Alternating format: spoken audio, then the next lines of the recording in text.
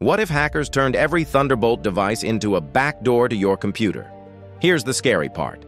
Thunderbolt devices bypass all normal security checks and connect directly to your memory.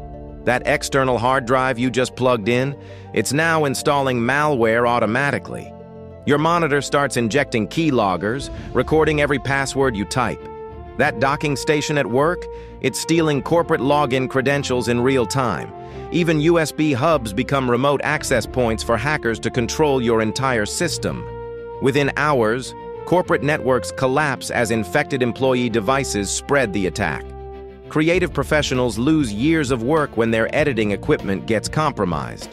Gamers watch helplessly as their accounts get stolen through infected gaming accessories. IT departments panic and ban all external devices immediately. Productivity plummets without keyboards, mice, or monitors. The $50 billion accessory market crashes overnight.